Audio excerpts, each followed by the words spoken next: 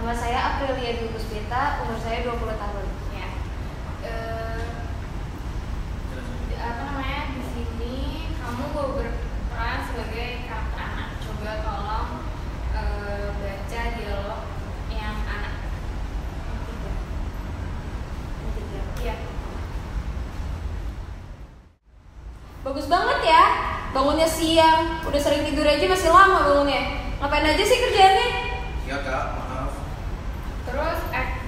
kalau misalnya anak kesel pas eh, dapat notif dari ayahnya. Yang atas scene satu. Handphone anak berbunyi. Saya Jasi, umur saya 14 tahun. Di sini kamu akan memerankan karakter yang namanya Ana, seorang remaja wanita berumur 20 tahun. Dia karakter utama, antagonis. Dia suka marah-marah.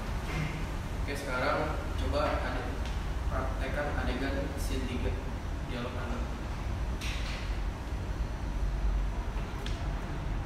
Bagus banget ya bangun siang, udah sering tidur aja masih lama bangunnya. Ngapain aja sih kerjaannya?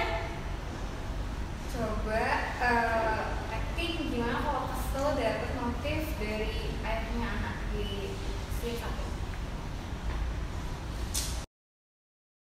Halo, perkenalkan nama dan umur. Ah, halo, nama saya Ayu, saya berumur 20 tahun. Oke, sekarang kamu akan mem- memperagakan Memperagakan. memperagakan karakter dari anak seorang wanita berumur 20 tahun. Dia karakter antagonis suka marah-marah.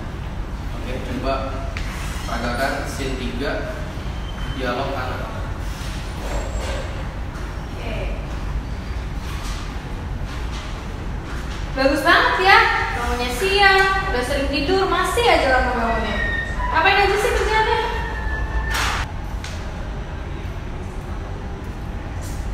Oke. Oke, bagus. Masih nanti dikabarin ya. Thank you. Sekarang perkenalkan diri dari nama dan umur. Nama saya Anya, umur 19 tahun. Eh, kamu akan memerankan karakter anak seorang remaja wanita berumur 20 tahun. Karakter utama, anta, antagonis. Ya, dan dia suka marah-marah. Coba peragakan scene 3 dialog anak. Bagus banget ya bangunnya siang. Udah sering tidur aja masih aja lama bangunnya. Ngapain aja sih kerjaannya? Ya. Ya ampun ternyata bokap gue dia nggak ada diri gue gara-gara suatu alasan. Oke, oke. Bagus, makasih. Nanti dikabarin ya. Bagus banget ya bangunnya siang, udah sering tidur, masih aja lama bangunnya. Ngapain aja sih kerjaannya? Oke, makasih. And action.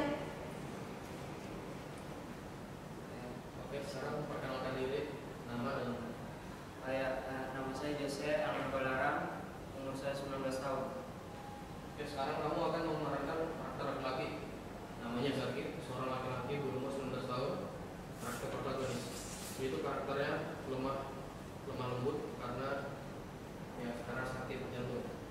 Coba peragakan scene 3 setelah dialog kena. Bagus banget ya, bangunnya siang, udah sering tidur, masih aja lama bangunnya.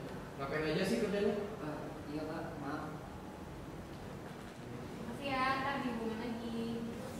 Oke, sekarang perkenalkan diri. Nama saya Sultan Abida, umur saya 20 tahun.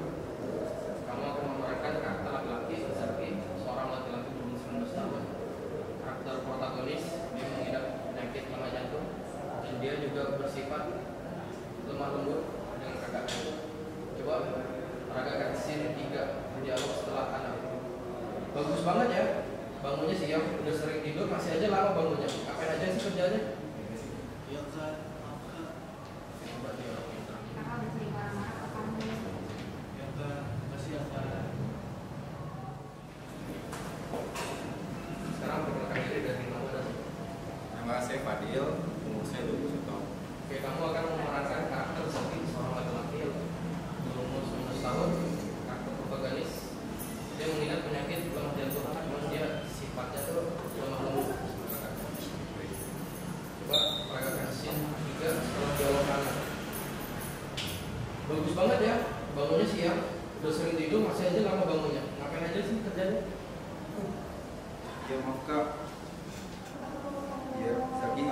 Pá.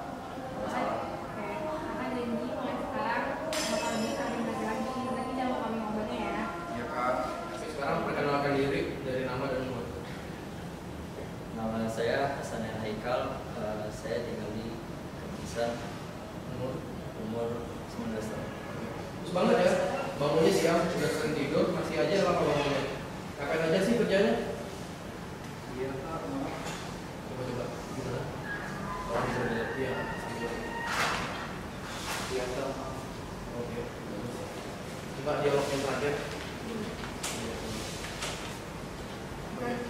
Zaki kan sama maaf ya sama ini karena udah di mana-mana kamu. Ya? Iya, saya nggak apa-apa. Maka janji mulai sekarang akan lebih bijak lagi. Oke. Okay.